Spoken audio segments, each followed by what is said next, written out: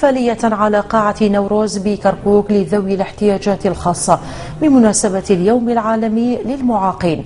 وقدمت خلال الاحتفالية عروض مسرحية وأفلام وثائقية عن إنجازات المعاقين في كركوك ودورهم الإيجابي في المجتمع. من جانبهم أشاد ذو الاحتياجات الخاصة بالجهود المبذولة من قبل إدارة محافظة كركوك والرعاية التي تقدمها للمعاقين.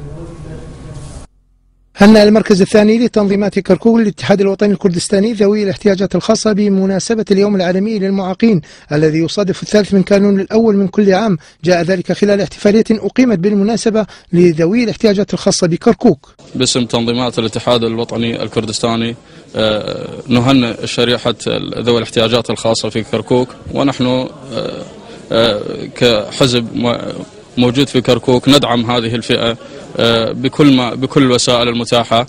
آه، دائما توجيهات الحزب آه، والمتمثلة بالسيد مسؤول تنظيمات عاصم مامند نهتم بهذه الشريحة ودائما نحث الشارع الكركوكي لاحتضان هذه الفئة ومساندتهم بكل الطرق المتاحة. مدير رعاية المعاقين من جانبه طالب الجهات المعنية بضرورة تفعيل وتنشيط المواد الدستورية لغرض المساهمة في تأهيل المعاقين للاندماج بالحياة الطبيعية في احتفالية أقامته مركز تأهيل المعاقين بالتنسيق مع دائرة الصحة كركوك. قدمت خلالها عروض مسرحية وفيلم وثائقي عن إنجازات المعاقين في كركوك. ليس نحن بإمكانياتنا المحدودة أن نقوم بجميع الخدمات نقدمها لرعاية هذه الشريحة من المجتمع بسبب عدم تفعيل المادة الدستورية المهمة في في القانون ومادة 32 من الدستور العراقي الدائم وكذلك صدور قانون رعاية ذوي الإعاقة والاحتياجات الخاصة رقم 38 والذي لم يفعل أيضا والذي يشارك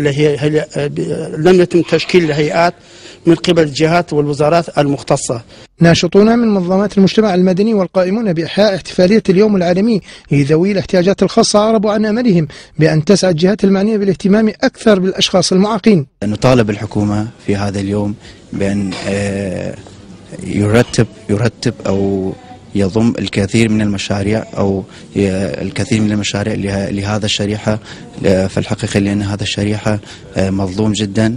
آه، لذا نطالب البرلمان والمجلس الوزراء والمجلس والمجلس المحافظات آه، باهتمام الأكثر آه، باهتمام أكثر لهم.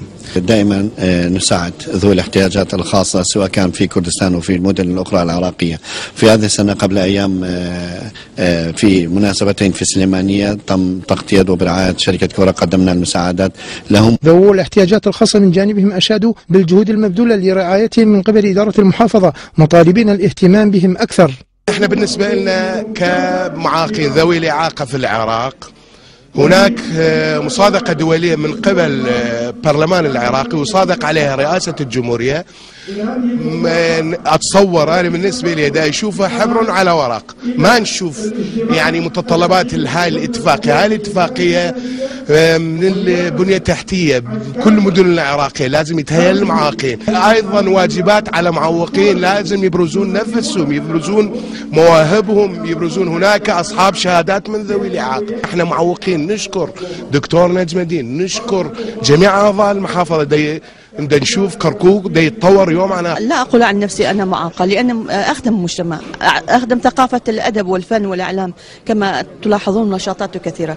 فهناك آه، مطالب الرياضيين هناك محتاجين الساحه وكذلك إبداعاتنا آه، إيصال آه، ليس بصمتنا بصمنا بالعراق داخل العراق. نريد إلى خارج العراق إبداعاتنا منها الفنية والأدبية والإعلامية. نشكر على هاي المساعدات اللي ينطوا المعوقين.